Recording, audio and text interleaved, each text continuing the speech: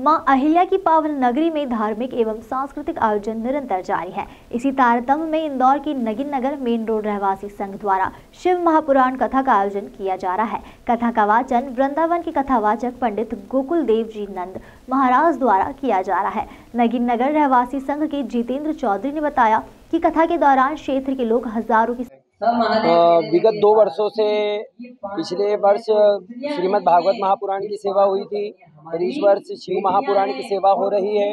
ये सार्वजनिक होती है और सभी के सहयोग से ये सेवा होती है। सभी के द्वारा ये पंडाल सजता है।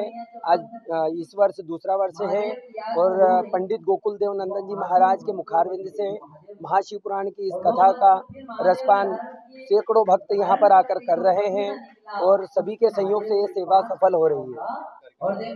प्रतिदिन यहाँ पर झांकियाँ होती हैं प्रसाद रोज अलग अलग बंटवाया जाता है, अन्य व्यवस्थाएँ, डेकोरेशन रोज चेंज किया जाता है। इस प्रकार से यहाँ पर अनेकों प्रकार की तैयारियाँ हमारी होती है।